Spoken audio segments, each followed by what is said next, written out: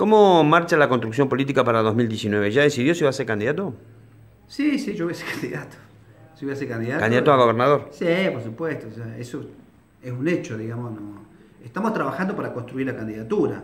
Todavía no hacemos lanzamiento, pero todo el mundo sabe que, queremos construir un proyecto distinto y que, estamos trabajando en el territorio. Bueno, la idea es, eh, es, seguir trabajando y ampliando el territorio. Y bueno, estamos muy entusiasmados porque, bueno, todo lo que nosotros venimos marcando que hay que corregir en la provincia, están todos los días los diarios de que hay que corregirlo y que me parece que hace falta un gran compromiso para construir una mayoría eh, mayoría que no alcanza con el frente neuquino. Claro.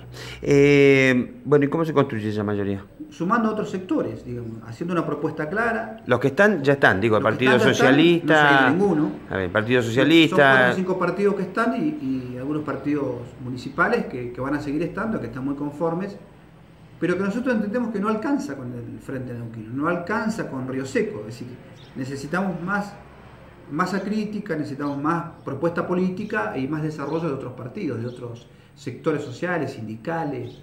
Libres del Sur, ¿va a estar con el Frente Neuquino? ¿Se está negociando? ¿Se está charlando? La verdad que no hemos hablado con Escobar. Con Jesús, pero tenemos una charla prevista, es decir, pendiente para estos días. El PJ. Y la verdad que terminamos en muy malos términos en el 2017, pero me parece que hay que tener una mirada. Nosotros tenemos una cita con la historia. Cuando usted mira los números, no de encuestas nuestras y otras encuestas. Viene creciendo, digamos.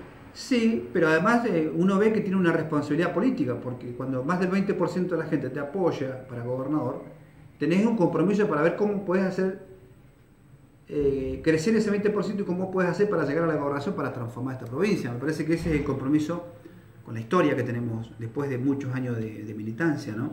Así que creo que eh, el desafío es ese, cómo se construyen mayorías para poder gobernar.